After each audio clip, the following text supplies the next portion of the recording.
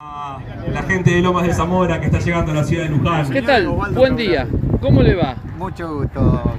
Muy Pero bien. no ¿Cómo es su nombre? ¿no? No, No, todavía no llegué. No llegué. ¿Cómo es su nombre? Saúl. Muy bien. ¿Y de dónde es usted? Para los amigos soy el gran Saúl. El gran Saúl. ¿Y qué, a qué se dedica Yo usted? soy a rastrojero siempre. Fue mi vida. Después de haber nacido en el campo y haberme empezado a caminar, empecé con el rastrojero.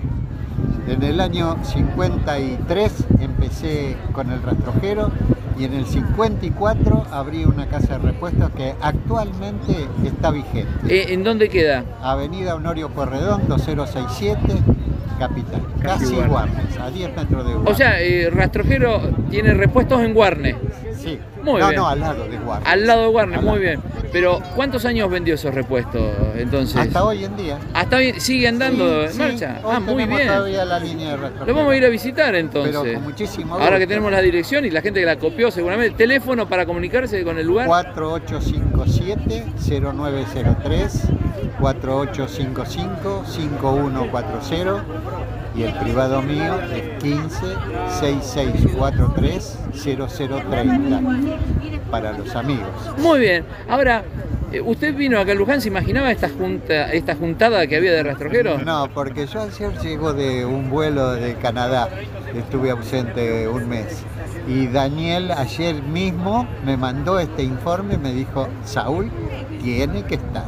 Y aquí estoy. Muy bien. Estoy con el ruido Saúl, todavía de los motores. ¿No te quedó de un llaverito para darme? No.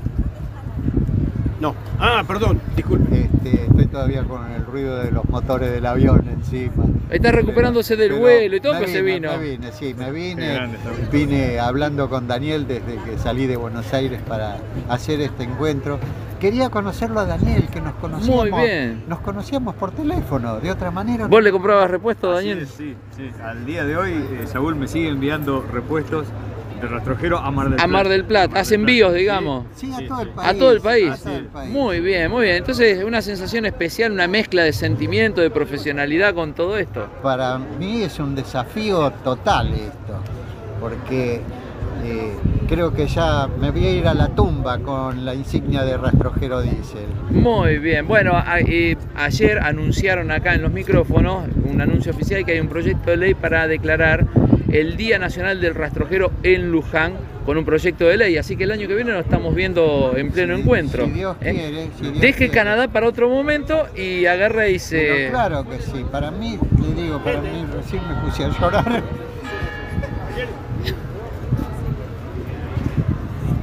Disculpe, No, por favor. pero esta emoción viene porque es todo sincero lo que dije. Así que para mí eh, hoy en día no me interesa vender un repuesto y ganar un peso, no me interesa. Me interesa el desafío de que el rastrojero siga andando y que yo pueda cumplir con la gente. Está muy bien. Porque lo que no hice hasta ahora ya no lo voy a hacer.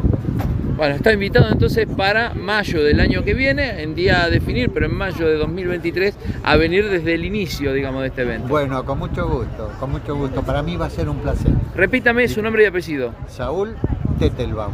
Muy bien, muchísimas gracias al pie de la Virgen de Luján. Estamos acá, así que vamos a, a volver a juntarnos. eh, mi escuela primaria y secundaria la hice acá cerquita, en Mercedes.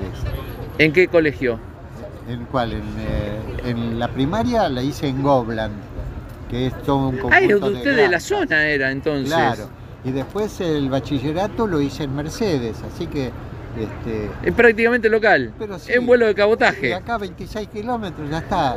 Y, y hoy mi señora no andaba bien de salud, porque si no hubiera estado mi señora ahora conmigo y de acá ya nos íbamos a Mercedes, porque todavía tengo amigos, tengo, pero de, de la escuela primaria todavía. Muy bien, muy Así bien. que- Muy bien, don Saúl. La verdad, lo felicito por lo que ha hecho por los rastrojeros y por lo que va a seguir haciendo.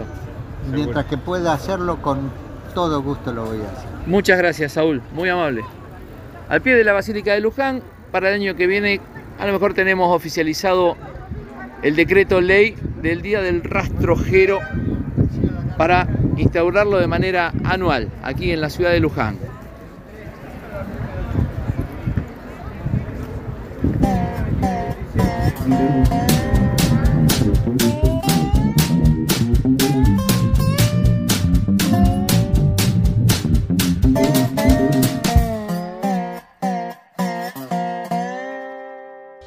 ¿Y pero quién es causante de que piden boludeces ahora? Ustedes, con el galpón rastrojero, él. Denle manija nomás, denle manija.